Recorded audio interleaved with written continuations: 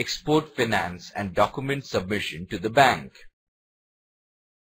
Export finance refers to the credit facilities extended to the exporters at pre-shipment and post-shipment stages. It includes any loan to an exporter for financing the purchase, processing, manufacturing, or packing of goods meant for overseas markets. Credit is also extended after the shipment of goods to the date of realization of export proceeds. In this lesson, we will learn various schemes of finance available to exporters at pre-shipment and post-shipment stages. After studying this lesson, you should be able to understand pre-shipment finance, types of post-shipment finance, documents required for bank submission. Pre-shipment finance is provided to the exporters for the purchase of raw materials, processing them, and converting them into finished goods for the purpose of export. Packing credit refers to any loan to an exporter for financing the purchase, processing, manufacturing, or packing of goods as defamed by the Reserve Bank of India. It is a short-term credit against exportable goods. Packing credit is normally granted on secured basis. Sometimes clear advance may also be granted. Many advances are clean at their initial stage when goods are not yet acquired.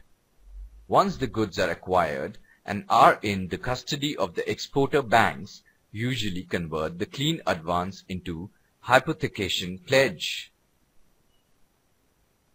When the value of the materials to be procured for export is more than FOB value of the contract, the exporters may get packing credit advance more than the FOB value of the goods. The excess cost of production over the FOB value of the contract represents incentives receivables. For example, when the domestic price of goods exceeds the value of export orders, the difference represents duty drawback entitlement. Banks can grant advances against duty drawback at pre-shipment stage subject to the condition that the loan is covered by Export Production Finance Guarantee of Export Credit Guarantee Corporation ECGC. This guarantee enables banks to sanction advances at the pre-shipment stage to the full extent cost of production. The extent of cover and the premium are the same as for packing credit guarantee. This is an additional window to rupee packing credit scheme. This credit is available to cover both the domestic and imported inputs of the goods exported from India. The facility is available in any of the convertible currencies. The credit will be self-liquidating in nature and accordingly after the shipment of goods, the bills will be eligible for discounting or rediscounting or for post-shipment credit in foreign currency. The exporters can avail this finance under the option if the exporters may avail pre-shipment credit in rupees and then the post-shipment credit either in rupees or in foreign currency denominated credit or discounting or rediscounting of export bills.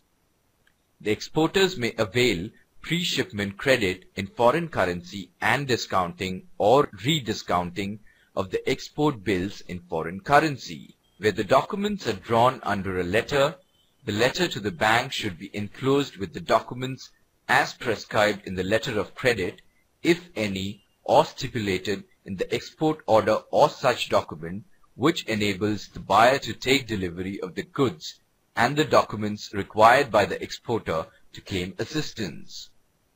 The documents generally required by any bank to negotiate or collect necessary payment from abroad and by the exporter include Bill of Exchange, full set of Bill of Lading or Airway Bill, Post Parcel Slip, combined transport documents, etc. Commercial invoice including one copy duly certified by the customs The number of copies should be the same as specified by the customs may also be acceptable in cases where the particulars furnished in the GR form agree with those indicated in the copy of invoice produced by the exporter and the value of the invoice agrees with the value of goods passed for shipment by customs. Original letter of credit. Customs invoice or consular invoice. Certificate of origin, GSP or APR certificate. Insurance policy or certificate with complete set. Packing list. Foreign exchange declaration form bank certificate of export realization in the prescribed form in triplicate, other documents if required. Now this is the time to check the progress. Let us find out if the given statements are right or wrong. The drawing of a bill of exchange is the method quite rarely used by exporters as a means of obtaining payment from buyers for goods shipped. Right or wrong? Wrong. EPZ stands for Export Promoting Zone. Right or wrong? Wrong. Exim Bank raises short-term foreign currency funds on a revolving basis from one or more syndicates of overseas lenders. Right or wrong? Wrong. Before we end, let us briefly revise what we have studied till so far. Export finance is provided at the pre-shipment and post-shipment stages. In India, the export credit facilities are provided largely by commercial banks, RBI, and Exim banks offer refinance. Exim Bank in certain cases participates with the commercial banks in extending medium and long-term credit to exporters. In India, pre-shipment finance is offered in the form of packing credit, advance against incentives, and pre-shipment credit in foreign currency PCFC. Packing credit facilities are provided to the exporters for making necessary arrangements for executing export contracts. The basic purpose of packing credit is to enable the eligible exporters to procure, process, manufacture, or store the goods meant for export. It is extended on the strength of either the letter of credit or confirmed export contracts. Generally, the amount of packing credit does not exceed FOB value of the export goods or their domestic value, whichever is less. When the value of the materials to be procured for export is more than FOB value of the contract, the exporters may get the credit against the receivables export incentives. The pre-shipment finance is also made available in foreign currency.